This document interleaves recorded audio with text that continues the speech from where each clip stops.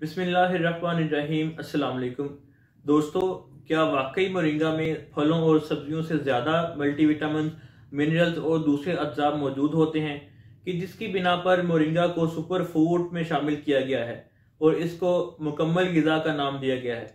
दोस्तों, आज की वीडियो में मैं आपको एक साइंटिफिक रिसर्च के मुताबिक बताऊँगा कि मोरिंगा में किस हद तक मल्टीविटामिन और मिनरल्स और दूसरे अज्जा मौजूद होते हैं। दोस्तों, ये जो मोरिंगा है, जिसे हम स्वांजना भी कहते हैं, ये दुनिया का पावरफुल मल्टीविटामिन और कुदरती एंटीऑक्सीडेंट वाला पौधा है। इसमें एक या दो तरह के मल्टीविटामिन और एंटीऑक्सीडेंट मौजूद नहीं होते, बल्कि इसमें बानवे इकसाम के गजाई अज्जा और छियालीस इकसाम के एंटीऑक्सीडेंट्स कुदरती तौर पर मौजूद होते हैं। हम जो डेली फल, सब्ज़ियाँ खाते हैं मिनरल्स और विटामिन हासिल करने के लिए दोस्तों, मरिंगा में उनसे कहीं ज़्यादा मल्टीविटामिन और मिनरल्स मौजूद होते हैं। इसमें कुदरती तौर पर छत्तीस इकसाम के एंटी इन्फ्लामेटरी और 18 इकसाम के अमाइनो एसिड्स मौजूद होते हैं।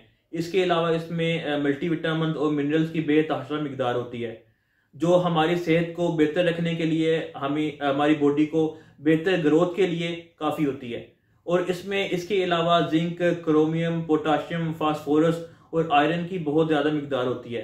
दोस्तों, इन्हीं खूबियों, इन्हीं खसूसियात की वजह से इस मोरिंगा को सुपर फ़ूड में शामिल किया गया है और इसको मुकम्मल गज़ा का नाम दिया गया है। दोस्तों, अब मैं आपको बताता हूँ एक साइंटिफिक रिसर्च के मुताबिक कि मोरिंगा में किस हद तक मल्टीविटामिन मिनरल्स और दूसरे अज्जा मौजूद होते हैं। तो इसमें न्यूट्रिशन की जो मकदार है, वो कुछ यूँ है। तो दोस्तों, अगर 100 ग्राम मोरिंगा के पत्तों का पाउडर लिया जाए तो उसमें दूध की नस्बत सत्रह गुना ज़्यादा कैल्शियम पाया जाता है।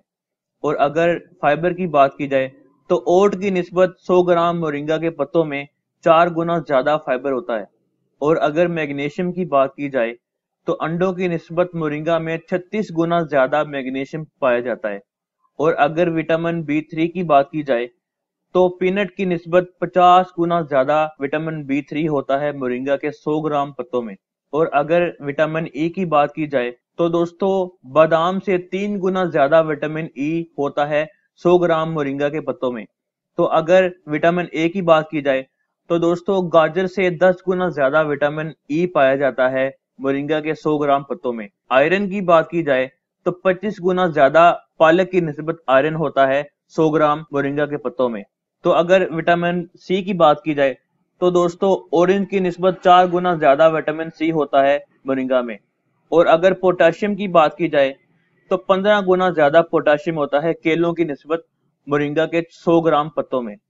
तो अगर प्रोटीन की बात की जाए तो दोस्तों, दही में प्रोटीन सबसे ज़्यादा पाया जाता है, लेकिन दही से भी 9 गुना ज़्यादा प्रोटीन मोरिंगा में पाया जाता है। तो अगर विटामिन बी टू की बात की जाए तो दोस्तों, ये फ़िश में सबसे ज़्यादा पाया जाता है, लेकिन फ़िश की नस्बत 50 गुना ज़्यादा मोरिंगा के पत्तों में ये विटामिन बी टू पाया जाता है। तो अगर न्यूट्रिएंट्स की एंटीऑक्सीडेंट्स की और विटामिन की बात की जाए तो मोरिंगा में बानवे इकसाम के न्यूट्रिएंट्स चालीस इकसाम के एंटीऑक्सीडेंट्स और विटामिन ए टू जी सारे विटामिन इसमें भरपूर मकदार में मौजूद होते हैं। तो इन्हीं खूबियों, इन्हीं खसूसियात की बिना पर मोरिंगा को सुपर फ़ूड में शामिल किया गया है। क्योंकि इसमें तमाम फलों, तमाम सब्जियों से ज़्यादा मल्टीविटामिन मिनरल्स और दूसरे अज्जा मौजूद होते हैं। तो दोस्तों, आप डेली रूटीन में रेगुलर मोरिंगा को यूज़ करिए, अपनी सेहत को बेहतर से बेहतर बनाएँ और इसको बच्चे, जवान, बूढ़े और खातन बगैर किसी साइड इफ़ेक्ट के यूज़ कर सकते हैं।